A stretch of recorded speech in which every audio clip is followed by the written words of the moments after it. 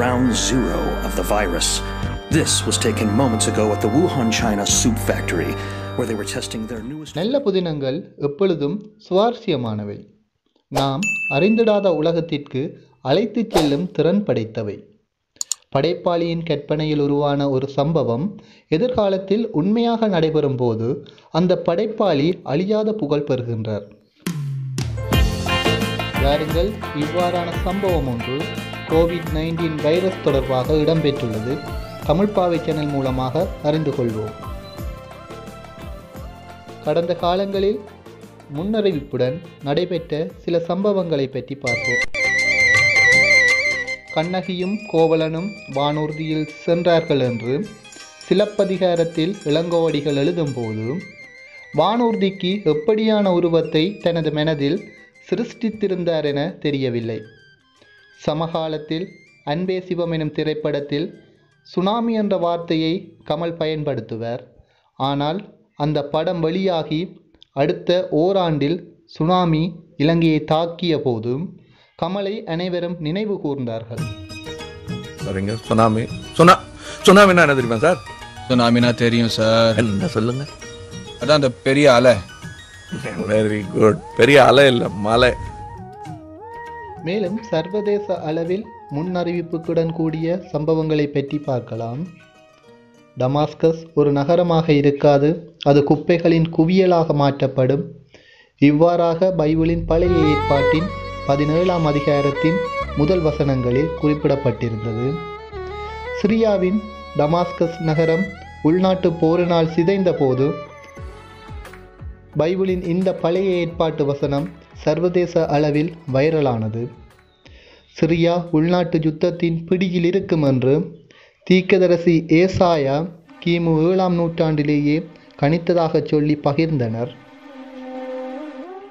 Hitler இரட்டை கோபுர தாக்குதல் என சர்வதேச அளவில் வரலாற்று முக்கிய நிகழ்வுகளை முன்கூட்டியே கணித்ததாக கூறப்படும் நாஸ்டடாமஸ் பலராலும் காலம் கடந்தும் கொண்டாடப்படுகின்றார்.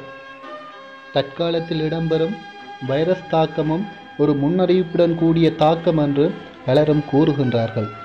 ஆயிரத்தி தொள்ளாயிரத்தி எண்பத்தி ஓராம் ஆண்டு அமெரிக்க எழுத்தாளர்னால் ஐ ஆஃப் த டாக்னஸ் எனும் கற்பனை கதையில் வைரஸ் தொடர்பான முன்னறிவிப்பு காணப்படுகின்றது. வைரஸ் திட்டமிட்டு பிறப்பப்பட்டதா வாருங்கள் கதைக்குள் போகலாம்.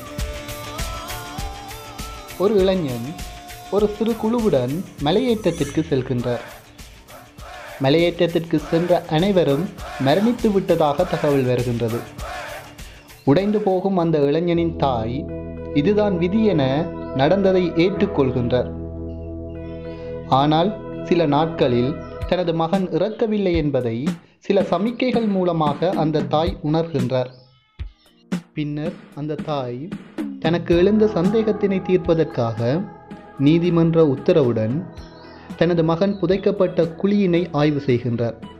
அங்கு தனது மகனின் உடல் புதைக்கப்பட்டதற்குரிய ஆதாரங்கள் எதுவும் கிடைக்கவில்லை. தனது மகன் சென்ற அந்த மலைப்பாங்கான பிரதேசத்திற்கு சென்றார். அங்கு ஒரு உயிரியல் ஆய்வுகூடம் இருப்பதை கண்டறிந்தார்.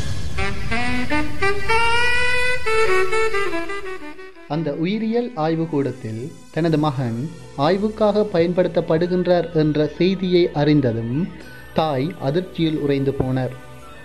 பின்னர் அந்த மகனை எவ்வாறு காப்பாற்றுகின்றார் என்பதுதான் கதை. இது த்ரில்லர் மாதிரியான கற்பனை கதை புத்தகம்தான் இது.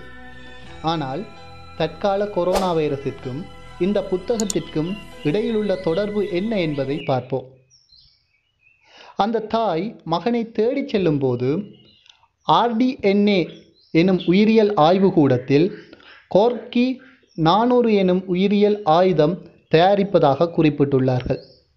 இங்கு கோர்க்கி என்பது ரஷ்யா நாட்டிலுள்ள ஒரு நகரம்.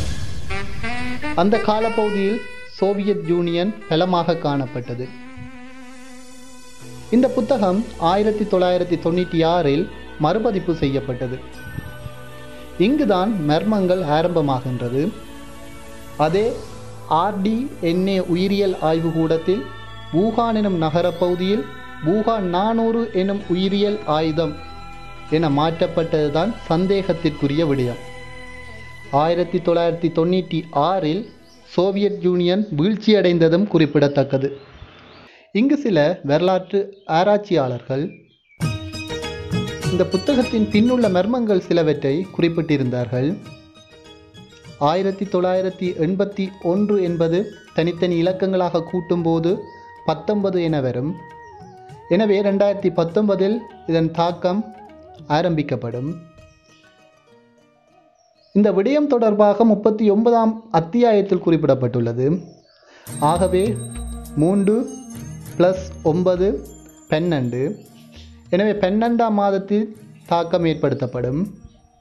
பூகான் நானூறு என்பதில் நானூறை இருபது தர இருபது அதாவது ரெண்டாயிரத்தி இருபதில் இது ஒரு தொற்று நோயாக பெறவும். இது மட்டுமல்ல பக்கம் முன்னூற்றி முப்பத்தி மூன்றில் ஆர்என்ஏ வைரஸ் என குறிப்பிடப்பட்டுள்ளது. ஆகவே இந்த ஐ ஆஃப் த டார்க்னஸ் புத்தகம் தற்காலத்தில் நிலவும் கொரோனா வைரஸிற்கு முன்னறிவிப்பாக இருந்ததென்றும் இடையில் மறுபதிப்பு செய்யும் போது சில சொற்பதங்களை மாற்றியமை இது திட்டமிட்டு பரப்பப்படுகின்றதோ என ஐயப்பாட்டையும் தோற்றுவிக்கின்றது. இது போன்ற விடயங்களை தெரிந்து கொள்வதற்கு தமிழ் பாவை சேனலை சப்ஸ்கிரைப் பண்ணுங்கள்.